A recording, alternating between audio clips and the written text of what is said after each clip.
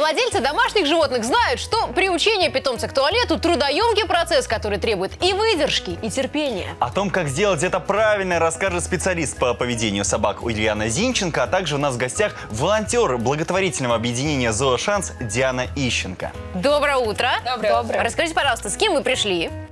А, Это Муха, Мухтар. Он же почтенный дедушка. Мухтару порядка 12 лет. А, К сожалению, с ним случилась очень печальная история. А, Мухтара брали в качестве охранника на предприятие более 10 лет. То есть он жил, его все подкармливали, все присматривали. Но как часто это бывает, э, то есть это всех собака и на самом деле ничья. Потому что никто не несет за нее в полной мере ответственность. Сейчас предприятие переехало, и почему-то ни у кого не дрогнуло сердце либо забрать домой Мухтара, либо забрать на новую территорию. Он остался один. А, Здание, которое было на территории, снесли. А, Его забрала наша замечательная волон- волонтер Ангелина. А, Сейчас он ходит к ветеринару, потому что у него есть множество проблем со здоровьем из-за условий, в которых он жил. То есть все время приходилось спать на улице, у него есть э, ранки и наросты на лапках, а, есть проблемы с внутренними органами. Мухтар стал хуже видеть, он достаточно плохо слышит. Тем не менее, он очень надеется встретить свою старость рядом с любящим хозяином в теплом уютном доме. Ну, с гостями мы познакомились, в частности, с Мухтаром. А У нас сегодня тема, как же обучить собаку, да, делать все свои дела, во-первых, на улице, а во-вторых, не превратить дом в, в какое-то место для каких-то странных игр, которые потом превращаются в испорченную мебель. Вот Мухтар, он приучен ко всему? А, Мухтар сразу, что удивительно, несмотря на то, что он прожил всю жизнь на, на улице, начал проситься в туалет. То есть он в этом плане идеальный парень. А, Он прекрасно ведет себя дома. То есть он лег в отведенное ему местечко и э, с радостью ударит свою любовь и тепло э, своим временным родителям. Ну, даже не все собаки, которые покупают там у заводчиков и так далее, сразу могут приспособиться к жизни дома. Все верно. А, Чаще собаки, которые попадают к волонтерам, а, они имеют проблемы с выгулом, когда у собаки просто не сформирована привычка. А, Стоит обращать внимание на питание и активность питомца. То есть нельзя сразу ругать. А, Очень часто, к сожалению, люди по незнанию сообщают нам, что там, у нас питомец дурак, он просто не понимает. И либо вот он вот так мне мстит таким образом. Это очень часто, мне кажется. Это так говорят. Распространенные мифы, с которыми мы встречаемся. А, У кошек а, чаще бывает, что стоит только один лоток, но считается, что на одного а, питомца кота нужно минимум два лотка. То есть если два, то четыре и дальше в геометрической прогрессии. Это всегда абсолютно решаемая проблема, если с ней работать.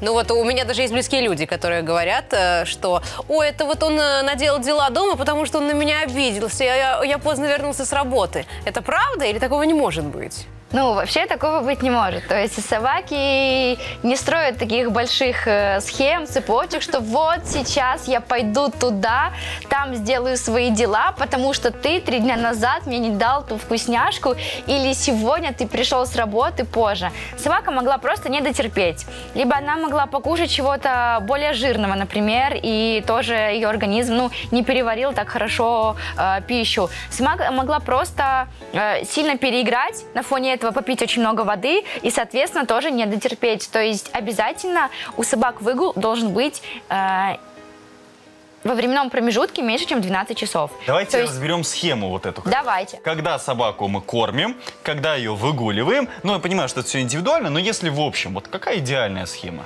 Идеальная схема – это мы просыпаемся, э, идем с собакой на улицу, э, по приходу с улицы через э, минут 10, например, накладываем собаке еду, и после еды мы не играем с собакой, не даем собаке бегать, чтобы не случился завороток желудка. Это проблема у больших собак, но у маленьких она тоже может быть. А, Собака кушает, все, потом она спит обычно. Вечером то же самое. А Если собака маленькая, то собаке нужно больше выгула, желательно три раза в день маленьких собак гулять, ну, потому что у них мочевой пузырь, как бы, соответственно, меньше, чем у больших. Большие собак можно выгуливать два раза в день, но тоже, чтобы не было больше, чем 12 часов. Потому что терпеть это неприятно, это больно, собственно, все как и у людей. Когда мы говорим э, маленькие собаки, мы имеем в виду размер или возраст? Да, мы имеем в виду размер, но у щеночков тоже все индивидуально. Щеночки, например, которые приезжают к нам из питомника, Питомники тоже бывают разные. Бывает там, где собак сразу приучают к пеленке, они приезжают в новый дом и знают, что вот этот вот квадратик пеленочный – это туалет. А есть щеночки, которые приезжают из питомников, где они живут в общем вольере, в опилках, туда ходят в туалет, там же едят, там же спят, и собаки просто не умеют э, разграничивать место, где ходить в туалет. И после этого они начинают дома ходить везде. То есть тут нам уже нужно самим приучить собаку, и это уже тяжело. Вот, то есть щеночки могут терпеть, например, э, ну, они там ходят в туалет каждые два часа. Обычно щеночки ходят в туалет после игры, после сна и после того, как покушают или попьют водички. Через какое-то время мы смотрим, когда он ходит в туалет, и после этого времени мы можем, например, брать его, высаживать на пленочку, чтобы он сделал свои дела. Ну и, конечно, его хвалить, чтобы он понимал, что нужно делать дела на пленочку. Ну вот, допустим, смотрят нас прямо сейчас телезрители, увидели Мухтара, подумают, какой приятный, какой дружелюбный пес, возьмут его к себе домой, но они же с ним не знакомы, а Мухтара уже свои привычки, свои какие-то понятия. Как понять, что он просится на улицу? А, Для этого, перед тем, как пристраивать собаку, мы устраиваем несколько свиданий с потенциальными хозяинами, э, с потенциальными хозяевами. Когда человек может приехать, пообщаться с питомцем, выйти на прогулку. А, Безусловно, мы сообщаем а, всю информацию о новых привычках, которые нам удалось сформировать у собаки. Но здесь тоже важно понимать, что волонтеры — это не кинологи. Не все Волонтеры имеют специализированное образование, то есть они дают собаке любовь, заботу, необходимый э, медикаментозный уход, если это необходимо. Но для того, чтобы воспитать собаку, тем более если есть какие-то проблемы, связанные с предыдущим негативным опытом, всегда лучше обратиться э, к специалисту-кинологу. А, Если, ну, как известно, э, важнее всего погода в доме, без зонта уже не обойтись, всегда в первую очередь стоит обратить внимание, какой у собаки график выгула чем она питается. Возможно, ей не подходит э, данный вид корма. Э, то есть многим собакам проще кушать натуральную пищу, так как они к этому привыкли. Не все сразу адаптируются к сухому корму. А, важно обращать внимание на качество сухого корма, который кушает собака. А Также самой частой проблемой э, в проблемах с туалетом является просто несформированный навык.